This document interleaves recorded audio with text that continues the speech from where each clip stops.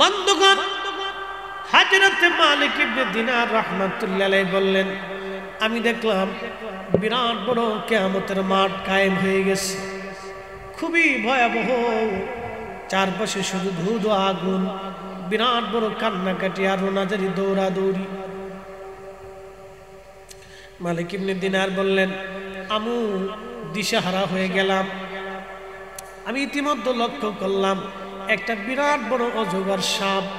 খুবই বিভৎস, খুবই ভয়াবহ সাপটা আমার দিকে দৌড়ায়, তেরে তেরে আসতেছে কামড় দেওয়ার জন্যে।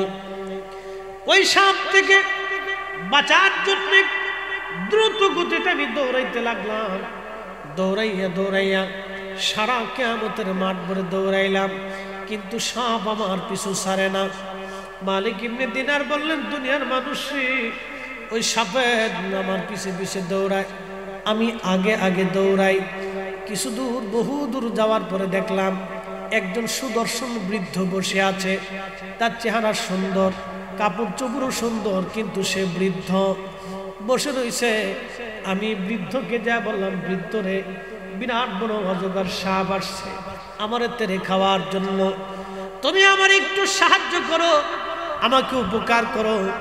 ওই বৃদ্ধ ডাক দিয়ে বলতেছে, দেখো মালিক, আমি খুবই হীন এবং দুর্বল। আমি অত্যন্ত হীন ক্ষীণ। বৃদ্ধরে ডাক দিয়ে বলতেছে, মালিক রে, ওই সাপ থেকে বাঁচানোর আমার কোনো শক্তি আমার নাই। ওই সাপ প্রতিহত করার ক্ষমতা আমার নাই।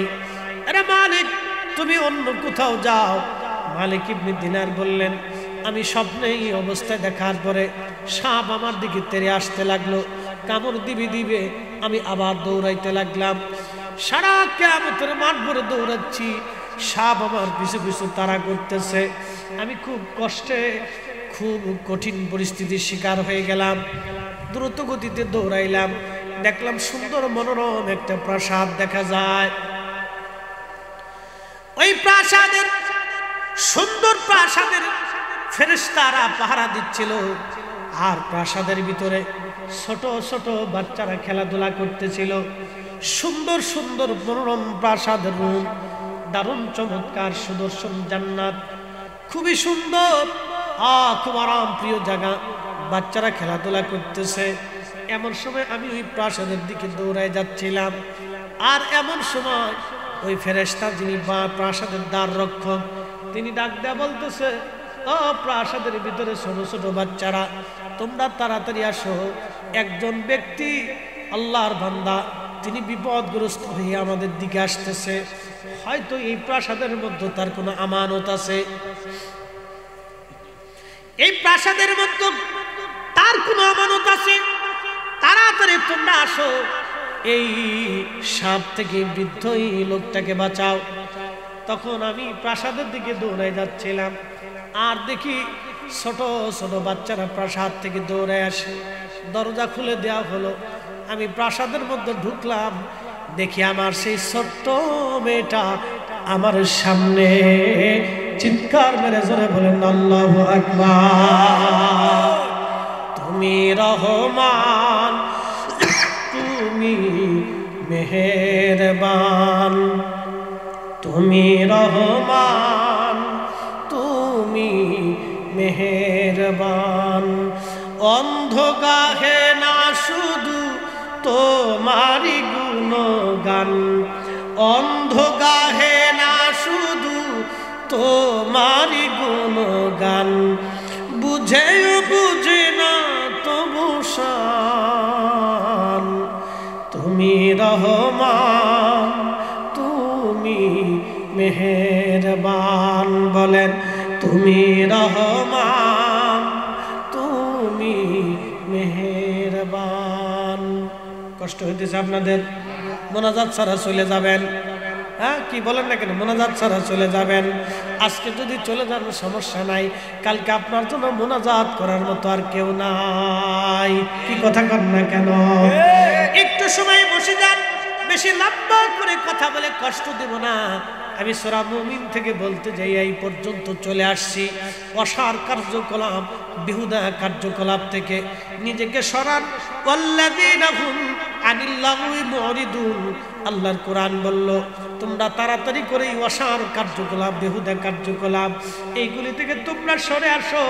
আল্লাহর দিকে রুজু হয়ে যাও। অযথা খেলাধুলা, অযথা ঘোরাফেরা, অযথা সার দোকানে, অযথা টেলিভিশনে, অযথা গল্প গুজবে, অযথা মিটিং মিছিলে, অযথা হাবিজাবি কাজে, অযথা দুনিয়াবি কাজে। বেহুদা দুনিয়া ঘোরাফেরা, বেহুদা দুনিয়ার খেলাধুলা আবিজাবি থেকে তোমরা সরে চলে আসো। যদি মুমিন হতে চাও, আল্লাহর দিকে তোমরা রুজু হয়ে যাও। আল্লাহর কোরআনে শিক্ষা দিচ্ছে, মালিক ইবনে দিনার বলেন দুনিয়ার মানুষ, আমি দেখলাম আমার মেয়েটা আমার সামনে, আমি বসে গেলাম, আমার ছোট্ট মেয়েটা আমার কোলের মধ্যে এসে গেল। কোলের মধ্যে এসিয়া ওই সাপটাকে আমার মেয়েটা ধরতে গেল, আর সাপটা দ্রুত গতিতে পালাই চলে গেল। আরও জোরে বলেন না সুবহান আল্লাহ বিশ্ববিখ্যাত আল্লাহর আলী মালিক ইবনে দিনার আলী লাকি পৃথিবীর এমন কোন আলেম নাই যে তার প্রশংসা না করেছেন। এত বড় ওলি ছিলেন তিনি। মালিক ইবনে দিনার বলেন দুনিয়ার মানুষে সাতটা দ্রুত গতিতে পালায় চলে গেল। আমার মেয়েটা আমার কোলের মধ্যে বসছে। আমার দাড়ি ধরে চুল ধরে মেয়েটা টানে। ছোট ছোট বাচ্চারা যা করে, দাড়ি ধরে চুল ধরে মেয়েটা টানতেছিল আর বলতেছিল, আব্বু, এখনও কি তোমার সময় হয় নাই দুনিয়া থেকে আল্লাহর দিকে ফিরে আসতে?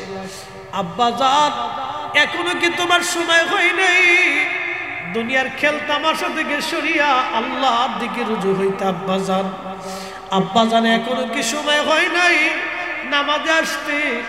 আব্বা জান এখনও কি সময় হয় নাই রোজায় বসতে? এইভাবে মেয়েটা বলতেছিল। মালিক ইবনে দিনার বলেন, মারে, আজকে বলো, তোমরা এই প্রাসাদের মধ্যে কি করো? মেয়েটা ডাক দে বলো, আব্বু, আপনার এই আল্লাহর বান্দারা যারা ছোট্টকালে মারা যায়, ছোট ছোট বাচ্চা কালে যারা মায়ের কোল, বাবার কোল খালি করে চলে আসে অনেকের দেখবেন ছোট ছোট বাচ্চা অবস্থায় মারা যায় অনেকের ধৈর্য হারা হয়ে যায়। আল্লাহ নবী বললেন, ছোট্ট শিশু, ছোট্ট বাচ্চা যদি মারা যায়, তাহলে তোমরা অবশ্যই ধৈর্য ধরবা। একটা কথাই বলবা আল্লাহ, সন্তান তুমি দিয়েছিলা, আবার সন্তান তুমি নিয়ে গেছো। আল্লাহ, তুমি দিছ, তুমি নিছ। তোমার দেওয়া নেওয়াতে আমি আল্লাহ সন্তুষ্ট। আল্লাহ, তুমি দিছ আবার তুমি নিয়ে চলে গেছো। আল্লাহ, তোমার সন্তুষ্টি আমার সন্তুষ্টি। তোমার খুশি আমি বান্দা খুশি। তোমার রাজিতে আমি বান্দা রাজি। এই কথা যারা বলবে, আল্লাহ রসুল বললেন উম্মাত্রে ওই সন্তানটা কামতের ময়দানে তার নাজাতের জরিয়া হয়ে যাবে। একবার জোরে বলা যাবে কি সুবহান আল্লাহ জোরে জোরে। লা ইলাহা ও লা ইলাহা হাসবি রব্বি জাল্লাল্লাহ। মা ফি কলবি গায়র। আহা নূর মুহাম্মদ। বলি নূর মুহাম্মদ। বলি ইলাহা ইল্লাল্লাহ, লা ইলাহা লা ইলাহা ইল্লাল্লাহ মুহাম্মাদুর রাসূলুল্লাহ সাল্লাল্লাহু আলাইহি ওয়াসাল্লাম। খুবই মনোযোগ দেন। হযরত মালিক ইবনে দিনার রাহমাতুল্লাহ বললেন মারে ওই সাপটাকে আমাকে দাবড়াইতে লাগল। মেয়েটা বলতেছে আব্বা যান ওই সাপটা হলো আপনার বদ আমল। আপনি যে মদ পান করেন, নেশা করেন, আব্বা গো, আপনি যে নামাজ পড়েন না, রোজা রাখেন না, খারাপ অন্যায় কাজগুলি করেন। এই গুণা হচ্ছে আপনার সাপ। সর্বাকৃতি দিয়ে আল্লাহ কেমতের ময়দানে আপনাকে তারা করছিল। আপনাকে ভক্ষণ করার জন্য, শাস্তি দেওয়ার জন্য। তখন মালিক ইবনে দিনার বললেন মারে বলবা কি, ওই যে ছোট্ট বৃদ্ধ লোকটিকে আমি দেখলাম খুব হীন দুর্বল, সুন্দর পোশাকের অধিকারী। এই বৃদ্ধটাকে তখন মেয়েটা ডাক দে বলল আব্বাজান ওই বৃদ্ধটা হলো আপনার নেক আমল। আপনি যেই আমলটাকে বৃদ্ধ বানায় রাখছেন, আপনি আমলহীন এই জন্য ওই আমলটাকে বৃদ্ধ বানায় রাখছেন। আপনার ওই আমল কেমতের ময়দানে আজকে আপনার কোনো কাজে লাগল না বাজান আপনার আমলটাকে আপনি দুর্বল বানায় রাখছেন, বিদায়। ওই সাপ থেকে আপনার আমল আপনারা বাঁচাইতে পারল না, বাবা। এখনও কি তোমার সময় হয় নাই ফিরে আসবা? আব্বা গো, তুমি তাড়াতাড়ি করে আল্লাহর পথে ফিরে আসো, নামাজে ফিরে আসো। জিকিরা আসো রোজা আসো, বাবা। এই কথা বলে বলে কাঁদতে কাঁদতেছিল মেয়েটা। মালিক ইবনে দিনার বললেন, আমার ঘুম ভেঙে গেল। ঘুম ভেঙে যাওয়ার পর আমি কান্না করতে লাগলাম। আমি মদের সব কিছু ছেড়ে দিলাম, নেশা ছেড়ে দিলাম বদামলগুলি ছেড়ে দিলাম, দুনিয়ার সমস্ত সহায় সম্পদগুলি আমি ছেড়ে দিলাম। সমস্ত অর্থবিত্তগুলি আল্লাহ রাস্তায় দান করে দিলাম। নিঃস্ব, নিঃসম্বল হয়ে আল্লাহ পাওয়ার জন্য দিনহীন হয়ে তারা দুনিয়া ঘুরে বেড়াইতে লাগলাম, তামাম দুনিয়া পরে আল্লাহকে খুঁজতে লাগলাম, আল্লাহর ইবাদতে নিজের জীবন কাটাই দিলাম, আল্লাহর পথে নিজের জীবন কাটাইলাম। এরা ছিল মুমিন মুমিন মুমিন মুমিন। এই মালিক ইবনে দিনার শেষ পর্যন্ত এত বড় ওলি হয়ে গেলেন, এত বড় ওলি নদীর ভিতর দিয়ে যাচ্ছেন তিনি। নদী পার হবেন। আল্লাহ আকবার। কষ্ট হইতেছে আপনাদের? তাহলে জোরে বলেন তো আল্লাহ আকবার। নদী দিয়ে যাচ্ছেন মালিক ইবনে দিনার। তো মাঝি ডাক দিয়ে বলল, আল্লাহর বান্দা, নৌকার ভাড়া দাও। মালিক ইবনে দিনার বলেন, মাঝি রে, নৌকার ভাড়া দিব, এমন পয়সা করি আমার কাছে নাই। বলে, বেটা মানে ভান ধরছো তুমি হ্যাঁ পয়সা না দিয়ে নদী পার হবা। যদি পয়সা না দিস বেটা ঘাট ধাক্কা দিয়ে তোর নদীর মধ্যে ফেলে দিব। মালিক ইবনে দিনার বললেন, দেখো মাঝি, আমি দিনহীন আল্লাহর পথের পথি, মুসাফির, আমার কাছে কোনো পয়সা করি নাই। দয়া করে বিনা পয়সায় তুমি নদী পার করে দাও। মাঝি কোনো মতেই মানে না। টাকা দিবি, না দিলে তোরে পানির মধ্যে ফেলে দিব। ঠিক তখনই মালিক ইবনে দিনার রহমাতুল্লাহ আলাইহি পানির মধ্যে হাত বাড়াই দিলেন। আল্লাহ ডাক দেখায়, ফেরেশতারা তোমরা দিনার গুলি মাসুদের মুখে দিয়ে আসো। আমার বন্ধু মালিক অপমান হয়ে যায় আজকে। আমি আল্লাহ ওয়াদা করছি, মান আদালি ওয়ালিয়ান ফাকাদা জানতুহু বিল হার। আমি আমার অলিদের সাথে যারা দুশ্মনী করবে, আমি আল্লাহ তার সাথে যুদ্ধ ঘোষণা করব। যাও তাড়াতাড়ি, প্রত্যেকটা মাসের মুখে একটা করে স্বর্ণ মুদ্রা দিবা, আর মাসরে বলবা, সাত মাসে যেন ওই নৌকার চারপাশে মা, ওই স্বর্ণের দিনারগুলি মুখে নিয়ে ঘুরতে থাকে। আমার মালিক হাত বাড়িয়েছে, যতগুলি পয়সার দরকার হয়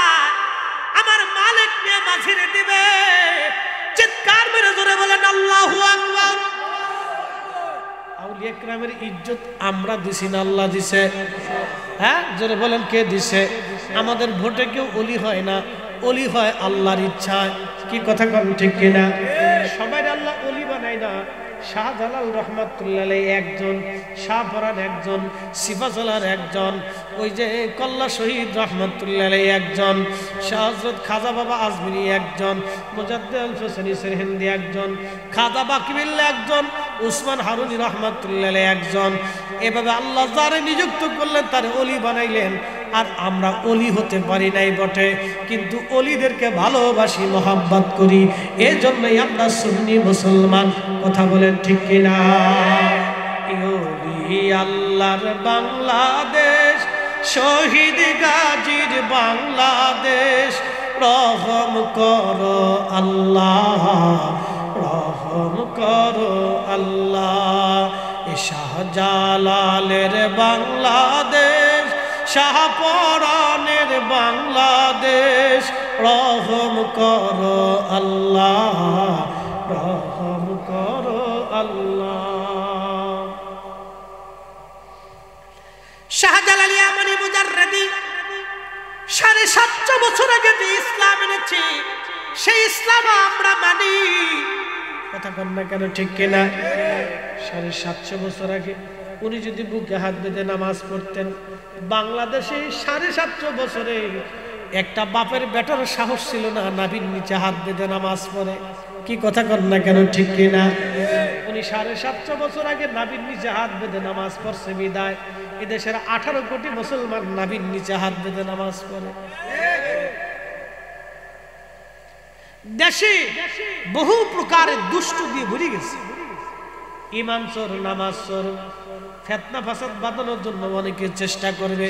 সমাজে সমাজে ভেজাল, মসজিদে মসজিদে ভেজাল, এলাকায় এলাকায় ভেজাল, ইমাম মুসল্লির ভেজাল, মুতুল্লি মুসল্লির ভেজাল, কমিটির ভিতরে ভেজাল বাপ্পুতের ভেজাল, ভাইয়ে ভাইয়ে ভেজাল। কথা কন না কেন, ঠিক কিনা এগুলি বাড়ানোর চেষ্টা চলতেছে, সাবধান, আপনাদের সতর্ক হতে হবে। সতর্ক হতে হবে। এই জন্য আপনারা খুব কেয়ারফুল থাকবেন। আল্লাহর অলিরা যে ইসলাম এনেছেন, এটাই সঠিক। কারণ শাহজালাল ইয়ামনি মুজাদ্দিদ রহমতুল্লাহ জুতা যদি এক পাল্লায় দেন, আর ওদের সব এক পল্লায় দিলে শাহজালাল ইয়ামনি মুজাদ্দিদের জুতার ওজনের সমান হবে না। কথা কম ঠিক কিনা এ আমার দিকে তাকান। ইসরায়েলের বিরুদ্ধে যুদ্ধ করে কারা? ফিলিস্তিনিরা। কত বছর ধরে? পঁচাত্তর বছর ধরে। পঁচাত্তর বছরে তাদের লক্ষ লক্ষ মানুষ শহীদ হয়েছে। কল্পনা করতে পারবেন, কারও ফ্যামিলি নিশ্চ হয়ে গেছে, কারও বাবা মা চলে গেছে, কারও সন্তান চলে গেছে, কারও ভাই চলে গেছে। এভাবে একটা একটা একটা একটা করে লক্ষে লাখে মানুষ তারা হত্যা করেছে। আজকে সৌদির বাচ্চা, আরব আমিরাতের বাচ্চা, দুবাইয়ের বাচ্চারা, এই শেখেরা, এই জর্দানের বাচ্চারা, তারা ইসরায়েলের মতো একটা ছোট্ট দেশের কাছে মাথা মতো করে বিড়ালের মতো মিউ মিউ মিউ করে। তার মানে ফিলিস্তিনের একটা ছোট্ট ছোট্ট বাচ্চার জুতার উপরে সমান হয় নাই। ফিলিস্তিনের একটা ছোট্ট বাচ্চাকে যদি জিজ্ঞেস করা হয়, তুমি কেমন আছো?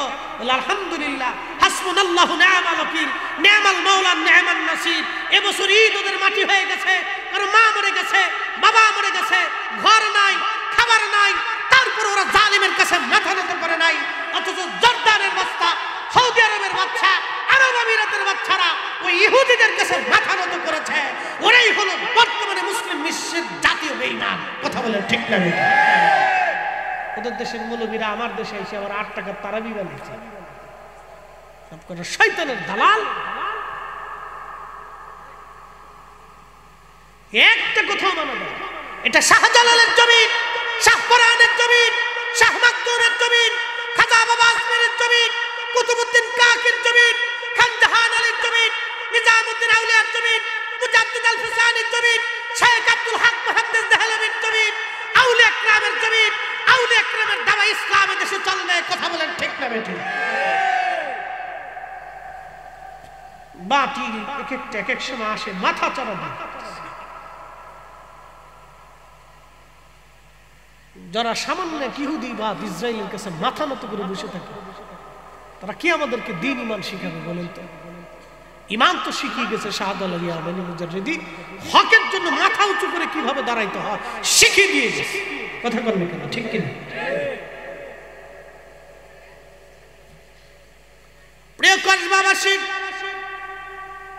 আল্লাহর কোরআন বলতেছে, এরপরে তুমি যদি মুমিন হতে চাও, তাহলে তুমি শুনো আল্লাযীনা হুম লিযাকাতি ফাইলুন তোমার সম্পদ থেকে তুমি জাকাত আদায় করবা, তোমার সম্পদ থেকে তুমি দান করবা জাকাত দিবা। আমরা তো জাকাত দেওয়া ভুলে গেছি। সাড়ে সাত বড়ি পরিমাণ স্বর্ণ, এই পরিমাণে অর্থ যদি কারও কাছে থাকে এক বছর, তাহলে তাকে জাকাত দেওয়া ফরজ। বুঝে যায়। সাড়ে সাত বড়ি, বর্তমান বাজারে এক বড়ি স্বর্ণের দাম কত? এক লাখ? তাহলে সাড়ে সাত লাখ টাকা। এই পরিমাণে সম্পদ কারও ঘরে যদি এক বছর জমা হয় অথবা ব্যবসায়িক মাল থাকে, তাহলে তাকে অবশ্যই জাকাত আদায় করতে হবে। এই হিসাব করলে এই কসবাতে কয়েকশো মানুষের জাকাত হবে, কয়েক হাজার মানুষের জাকাত ফরজ হয়ে গেছে, কিন্তু জাকাত উসুল করে না। এই বছর শেষ হলে পশা লুঙ্গি একটা, একবারে পশা পাঞ্জাবি একটা পশা কাপড় একটা নিয়ে আসে। নাম দিছে জাকাতের লুঙ্গি জাকাতের মার্কেট। এক মাস পরার পরে বেটা পেশাব করতে বসছে, নিজ দিয়ে লুঙ্গি সিরিয়া ফাইরিয়া চলে গেছে। কি কথা জাকাত দিয়ে বিরাট বড় লুঙ্গি একটা এক মাস পরে নিজ দিয়ে ফাইরিয়া চলে গেছে। বেটা পেশাব করতে হবে, বড় বিপদ। জাকাতের জাকাতের মার্কেট, জাকাতের কাপড়। সি সি সি এগুলি বলে কাপড়ও আলাদা, লুঙ্গিও আলাদা। হাই আফসোস এই জন্য। জাকাত দিতে হয় ভালো জিনিসটা। আপনি যেটা পছন্দ করেন সেটা দিতে মানসম্মত দিতে হবে আপনি যেটা খাবেন দরিদ্র ওটা খাওয়াতে হবে। আপনি যেই রুটিটা পছন্দ করেন গরিবের জন্য ওটা পছন্দ করতে হবে। আপনি যেই পোশাকটা আপনার কাছে ভালো লাগবে, গরিবের জন্য ওটা বরাদ্দ। এটা হলো মানসম্মত এটা মানসম্মত দাম ফসা গলা আপনার যে চাইলটা পছন্দ হবে, ভালো, মানসম্মত, ওটা আপনি দিবেন। যেটা আপনি খাইতে পারেন ওটা দিতে হবে। এমনটা দিন না যে সন্ধ্যাবেলা রানলে রাত দশটার সময় ভিতর দিয়ে ফুসে যায়। কি আছেন এরকম চাইল নষ্ট হয়ে যায়। দেখেছে যে গরম পড়ছে যে গরমে সন্ধ্যার সময় রানছে রাত দশটার সময় এটা নষ্ট হয়ে গেছে। ভিতর দিয়ে পানি পুনি উঠিয়ে একবারে শেষ। এগুলি না। তা আপনাদের কি জাকাতের বিষয়ে খুব খেয়াল রাখতে হবে?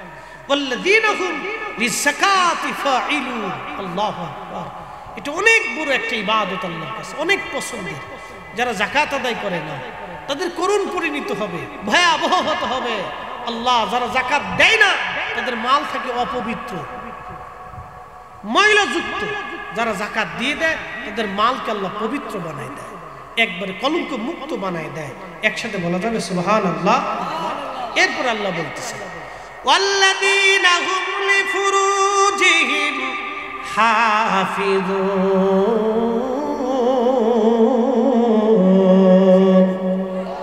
হয় না? আরও জোরে বলব আল্লাহ এইটা আমাদের দেশে এখন গুনাই মনে করে।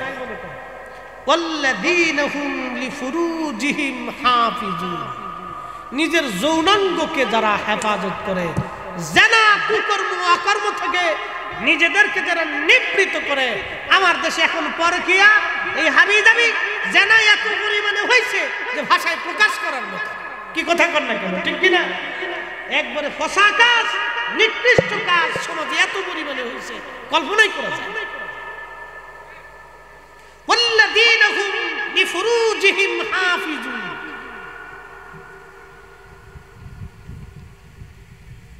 এক মহিলা সাহাবী রসুল করিমের খেদমতে আসছে মনোযোগ দেন না কষ্ট হইতেছে আপনাদের এই আর দশটা মিনিট সময় ইনশাল্লাহ দেওয়া যাবে না তাহলে বলেন না ইনশাল্লাহ বেশি বাড়াবো না কারণ তাবারক না থাকলে পাবলিকের কষ্ট হয়। যারা তাবারকের লুভে এসছেন তারা চলে গেছে। ইনশাল্লাহ আপনারা যারা আছেন, এটা পারফেক্ট বুঝলি আর ওরা বলে যে, হুজুর, তাবারক নিলে ভেজাল সবসময় শেষে লাস্টে এসে অনেকে কলাপ ফেলায়। এ, দিলি নাকি? কি একটা জ্বালা আমার পকেটের পয়সা। ওনারে খাবার না দিতে বললে বাস কলার চাপতে ধরে বসে। কি একটা জ্বালার জ্বালা। তো এই জন্য ওরা জ্বালা থেকে মুক্ত হয়ে গেছে আজকে। একসাথে সকলে জোরে বলি, আল্লাহ আকবার। না না, আমার যে মনে হইতেছে দুপুরে খান নাই। মেসি আবার গোল দিলে দেখতেন যে লুঙ্গির কাপড় উঁচে করে দিচ্ছে রে। আমাদের দেশে তো দুই গ্রুপ, একটা ব্রাজিল আর আর্জেন্টিনা। বিরাট যুদ্ধ লাগে। বাপরে বাপ, মিছিল চলে তো মেসির গ্রুপে, আর্জেন্টিনার গ্রুপে মেসি যদি গোল দেয়, তো আর্জেন্টিনার গ্রুপে এই ব্রাজিল গ্রুপে খেপা, দিছে রে। দিছে রে, দিছে। আমার ব্রাজিলের নেইমারে যখন গোল দেয় তখন ব্রাজিলের গ্রুপ আর্জেন্টিনার দিক থাকবে দিছে রে দিছে। পারাপারি চলে।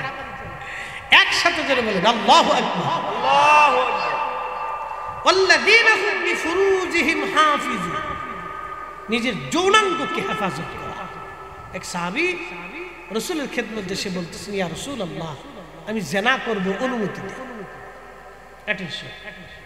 আমি জেনা করব আপনি অনুমতি দেন।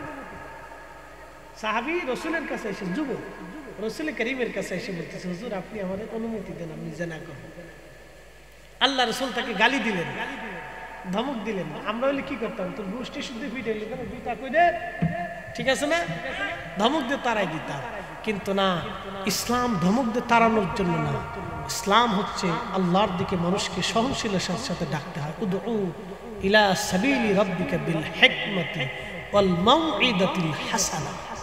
সুন্দর শব্দমালা দিয়ে, চমৎকার সাবলীল ভাষা দিয়ে, মহাব্বত দিয়ে মানুষকে আল্লাহর দিকে ডাকতে হয়।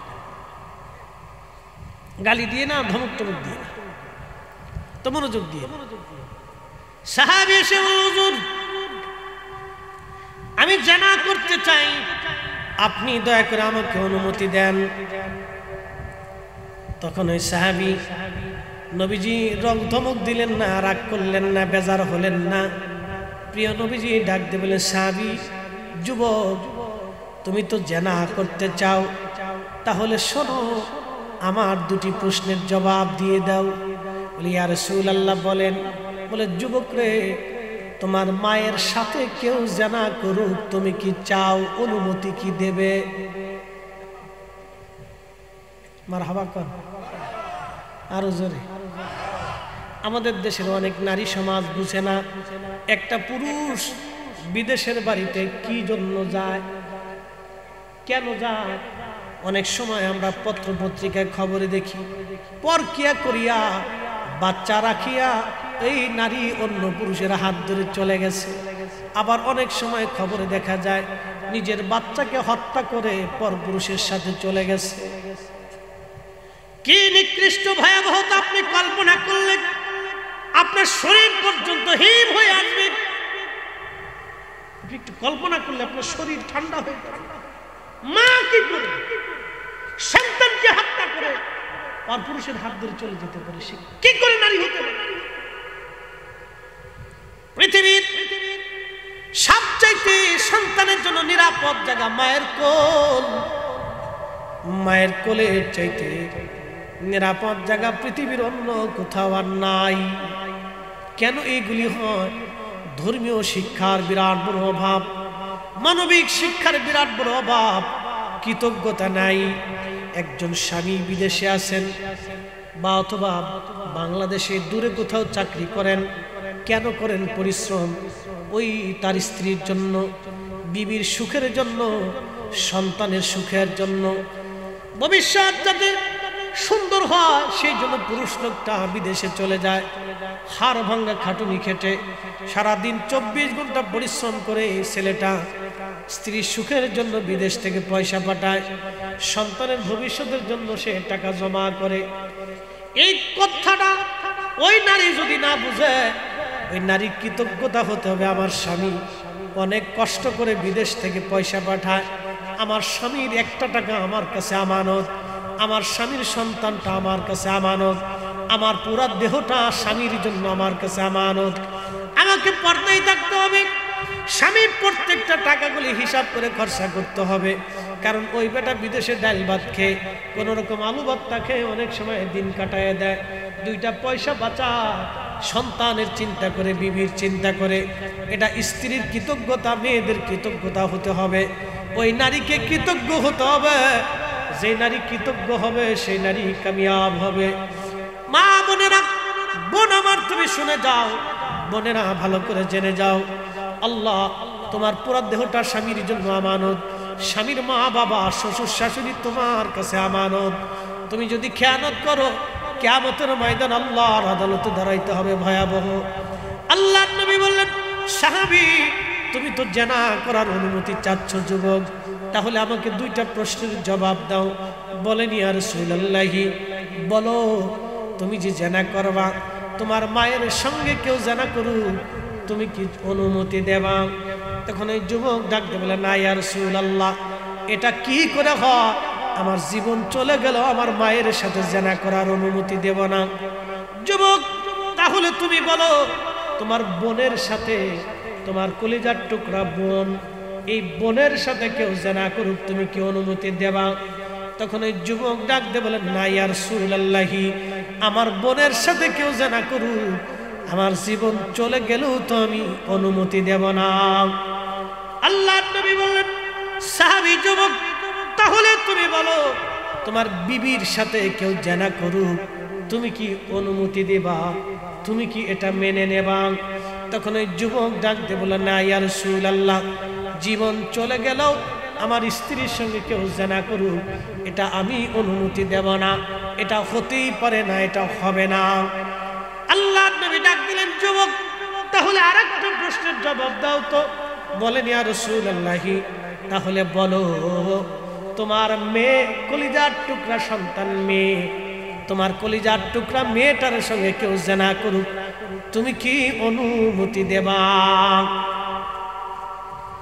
সাহাবি বলে, হুজুর, জীবন চলে গেল না, কখনোই না, হতেই পারে না।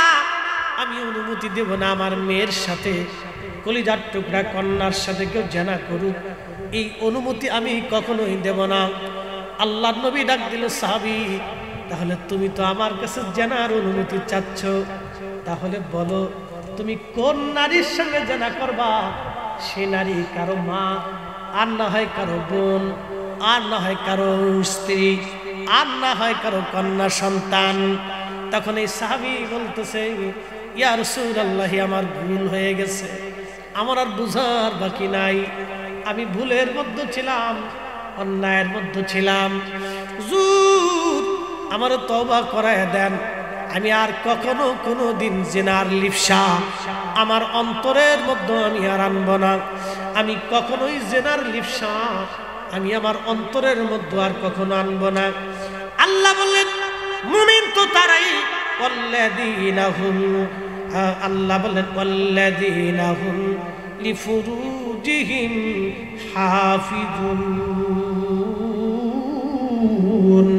মুমিন তো তারাই যারা তাদের নিজের যৌনাঙ্গকে নিজের যৌবনকে এই অবৈধ সম্পর্ক থেকে পরকিয়া থেকে জেনা থেকে অকাম কুকাম থেকে নিজের যৌমঙ্গকে যারা হেফাজত করে, নিজের বৈধ স্ত্রী ব্যতীত, আল্লাহ বললেন, স্ত্রী ব্যতীত যারা নিজের যে যৌনঙ্গকে যারা হেফাজত করে, তারা মুমিন মুমিন।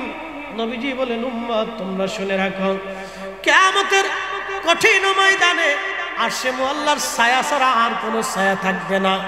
ওই দিন ওই যুবককে আমার আল্লাহ আর সে মোল্লার নিচে জায়গা করে দিবে। কোন সুন্দরী নারী তাকে জেনার দিকে আহ্বান করেছিল, জেনার দিকে ডেকেছিল। আর ওই যুবক নিজের আল্লাহর ভাই নিজের যৌনাঙ্গকে, যৌবনকে হেফাজত করে ওই নারী থেকে সরে নিজের যৌবনকে হেফাজত করেছিল। জেনা ওই যুবক করে নাই। আল্লাহ নবী বললেন, সাহাবীরা, ওই বান্দাকে আমার আল্লাহ আর সে মোল্লার নিচে জায়গা করে দিবে। একবার জোরে বলা যাবে কি সুবাহান আল্লাহ আল্লাহ এই সমস্ত জানা থেকে অপবিত্রতা থেকে আমাদের সবাইকে হেফাজত করুন। সকলেই বলেন আমেন। আমার দেশে এইগুলি এখন পাপই মনে হয় না। বলে, হুজুর কেমনে বলতেছেন? চলে যান বলদা গার্ডেনে। চলে যান ওই আপনার কি বলে রমনা পার্কে? চলে যান আপনি ওই বিনোদন কেন্দ্রগুলি।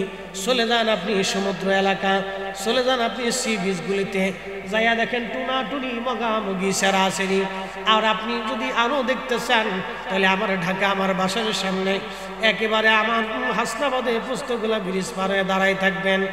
দেখবেন সারা রাত্রে মোটর সাইকেল দিয়ে সামনে বেড়া, সামনে পিছে বেডি।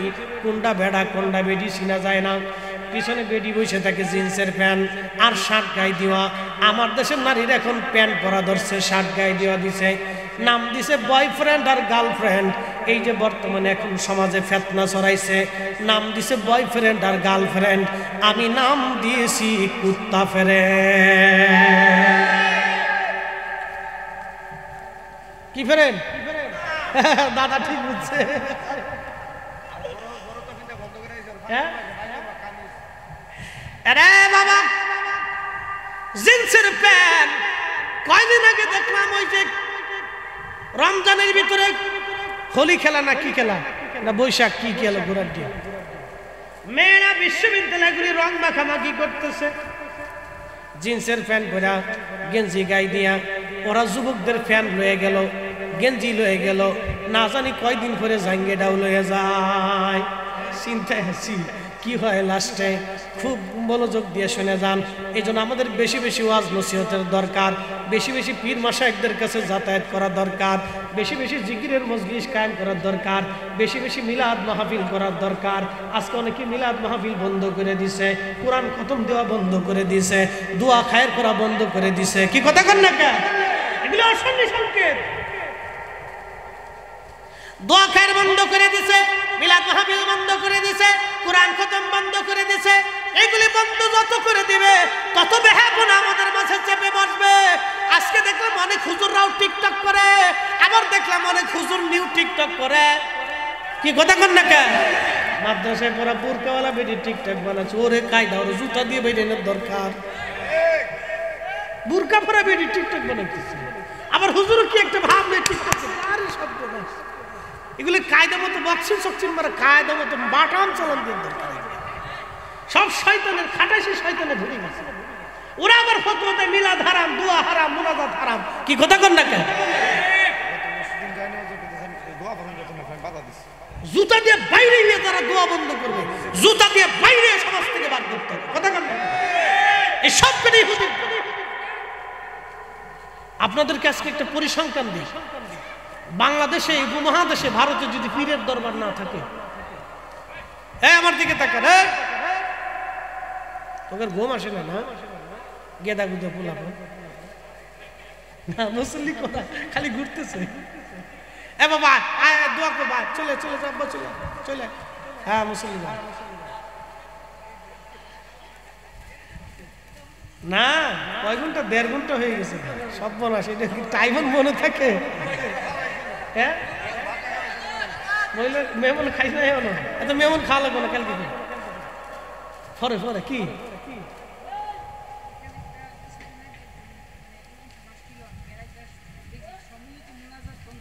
হাই হাই, বসো বসো। সম্মিলিত মোনাজাত বন্ধু, কত বড় শয়তান চিন্তা করতেছে ও আইসে শয়তানি করার জন্য এ, কথা কর না ও শয়তানের জন্যই। দিতেছি, বলতেছি আপনাদেরকে। দেখেন এইগুলো বন্ধ হলে কি হবে আমি বুঝাইতেছি। আগে পরিসংখ্যান দিয়েছি তারপরে দলিল দিচ্ছি। সারা বাংলাদেশে সব পীরের দরবার বন্ধ করে দেন। মানুষ দরবারে আসা যাওয়া বন্ধ করে দিক। কেউ যদি একজন পীর মানে তাহলে এই পীরে কিন্তু কয়, বাবারে চুরি করবা না, মিথ্যা বলবা না, নামাজ সারবা না, রোজা সারবা না, হক হালাল মতো চলবা। কি কথা কর নাকি, ঠিক কিনা? বলে না? শিখেই তো। আপনারা যে শাইকের কাছে যে কাছেই বায়াত করেন, সবাই কিন্তু ভালো কাজ শিখাচ্ছে আচ্ছা মনোযোগ। এইরকম সারা বাংলাদেশে শত শত হাজার হাজার পীর মাসে রাশি উপমহাদেশে তারা এইগুলি শিখাচ্ছেন। মনোযোগ দিয়ে কথা শুনবেন। তারপরে সারা বাংলাদেশে মাহফিল হয়। বিভিন্ন মাহফিল রবিউল আওয়াল মাস আসলে হাজার হাজার লক্ষ লক্ষ মিলাদুন নবীর মাহফিল হয়। হয় কি হয় না? একদল আছে, শরীরের চোখের মধ্যে খালি টানাটানি করে। মিলাদুল নবীর মাহফিল শুনলে শরীরের চোখে জ্বালা পোড়া শুরু হয়ে যায়। ওরা খালি শয়তানে চাবি মারতে থাকে খুসাইতে থাকে, আর খালি লাফায় লাফায় খালি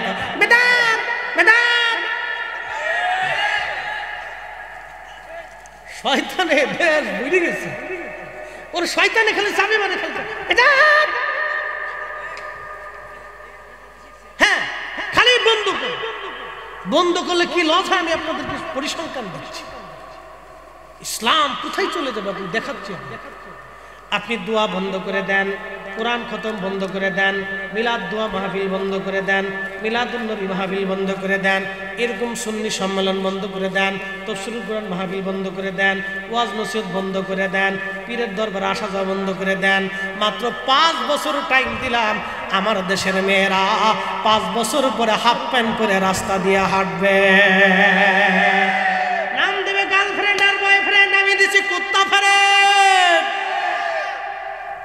বাস শেষ। হ্যাঁ পরিসংখ্যান দিয়ে গেল পাঁচ বছর মাত্র। এই জন্য এই জমিন শাহজালালের জমিন, শাহপরানের জমিন, শাহ মাকদুমের জমিন, শাহ আলী মুক্তাদির জমিন। নামাজ হবে, নামাজের পরে দোয়া হবে, মিলাদ হবে, কিয়াম হবে, দোয়া হবে, ফাতিহা হবে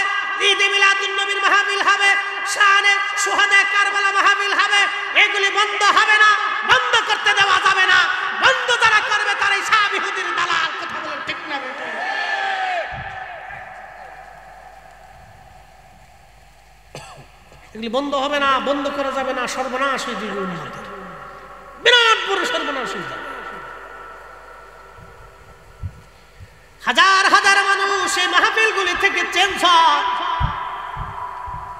মেয়েরা পর্দাশীল হয়, স্বামীর খেদমত গুজারো হয়। আমার দেশের শিক্ষিত সমাজ দেখেন, কালকে আমি খবরের মধ্যে দেখলাম, এক ছেলের চারটে বাড়ি ঢাকা শহরে, কিন্তু বাবার জায়গা হয়েছে বৃদ্ধাশ্রমে। হ্যাঁ আপনি বৃদ্ধাশ্রমে যে ঘুরে দেখে আসেন। চারটে বাড়ি পুরা আমার কিনেছে মেয়ে ফ্ল্যাট কিনে দিয়েছে ছেলের কোটি কোটি টাকার মালিক, মার জাগা ছেলের যাতে কতটা নিকৃষ্ট আপনি কল্পনা করতে পারবেন না মানুষগুলি কতটা নিকৃষ্ট। সমাজের কি রাষ্ট্রের কি যত নসিহাত বন্ধ হবে, এই জন্য ঘরে ঘরে মিলাদ দরকার। কথা কন না ঘরে ঘরে কি? জোরে কন জোরে কন, ঘরে ঘরে কি? ঘরে ঘরে মিলাদ। ঘরে ঘরে দোয়ার দরকার মানুষ যখন এক জায়গায় যায়, দোয়া দুরুদ পড়বে, তখন ওই ফ্যামিলির কারণে করে দিল নরম। ওখানে একটু অপদার্থ থাকলে পদার্থ হয়ে ঘরে ঘরে মুসলমানের ঘরে ঘরে দোয়া দেয় শয়তানের দালালের গুরু, শয়তানের দল, দোয়া বন্ধ করে দেওয়ার জন্য খাদিম রসুল হজরত আনাস রাদিয়াল্লাহু দশ বছর রসুল করিমের খেদমতের গোলামি করছে। উপাধি হচ্ছে খাদিমুর রসুল। হাজারাতে খাদিমুর রসুল আনাস রাদিয়াল্লাহু আনহু দশটা বছর ধরে নবীর কদমের গোলামি করেছেন তিনি। আল্লাহ রসুলের দরবার একদিন যে বলেন, ইয়া রসুল আল্লাহ আপনার খাদেমের জন্য দোয়া করে দেন। মারহাবা কন। দোয়া করে দেন। কি দোয়া করব খাদেম, বলো। হুজুর, আপনি দোয়া করেন, আল্লাহ আমার জন্য সন্তান এবং সম্পদের জন্য আল্লাহ বরকত দেয়। সন্তান আর সম্পদের জন্য আল্লাহ বরকত দেয়। এ মনোযোগ দিয়ে শুনে যান। তখন আল্লাহ নবী দোয়া করলেন, আল্লাহ আমার খাদেম, আনাজকে তুমি সন্তান আর সম্পদে বরকত দিয়ে দাও। সবার উটের বাচ্চা যদি একটা হইতো ওনার উটের বাচ্চা দুইটা হতো, সবার ছাগলের বাচ্চা দুইটা হইলে ওনার ছাগলের বাচ্চা হতো চারটা। আমার নবীর দুয়ার পাওয়ার কত? যারা বলে, রসুল আমাদের মতো আর আমরা নবীর মতো, ওর মতো গাধা দুনিয়া তার একটাও না। দুয়ার পাওয়ার দেখছেন? সবার খেজুরের বাগানে খেজুর ধরতো বছরে একবার, আর ওনার খেজুরের বাগান ছিল হাইব্রিড। বছরে খেজুর ধরতো দুইবার। সুহান আল্লাহ বলবেন? আল্লাহ সম্পদ দিতে দিতে অনেক ধনী বানাই দিলেন। আল্লাহ সন্তান দিতে দিতে একশোর মতো সন্তান দিল। এরকম বেড়া বাংলাদেশে পাওয়া যাবে না। সারা দুনিয়াতেও আর একটা পাওয়া যাবে না। আল্লাহ আল্লাহ চিন্তা করতে একশোর মতো সন্তান আল্লাহ দিছে। আর কি পাওয়ার ছিল আল্লাহ রসুলের দোয়া? কি বেড়ার বেড়া হয়ে গেছে? ওনার একটা আদত ছিল, অভ্যাস। মাশাল্লাহ আজকে দলিল সারা জীবনের আদত আদত মানে অভ্যাস, প্রতিনিয়ত তিনি আমলটা করতেন। সারা রাত্র উনি জাগতেন, ইবাদত করতেন। সাহাবি না, তাও রসুলের খাদিম এটা সাইটটিখানি কথা না। ওনাদের বুজুর্গি আকাশ সমতুল্য ওনাদের বুজুর্গির কোনো তুলনা নাই। দেখেন, এত স্ত্রী, এত সন্তান, তারপরেও সারা রাত্র আল্লাহ ইবাদতে দিচ্ছে সারা রাত্রি আর প্রচুর পরিমাণে দান করতেন সৎকা দিতেন, শুধু দান করতেন। ওনার দরজা থেকে কেউ মারুম হইত না। ওরে, বিশ্ববাহিনীর জ্বালাও অস্থির। একটু জবান খুলে জিকির করে ইলাহা, জোরে ইলাহা, ও ইলাহা। حسبي ربي زل الله ما في قلبي غير আহা নূর মুহাম্মদ বলি নূর মুহাম্মদ বলি লা ইলাহা ইল্লাল্লাহ লা ইলাহা লা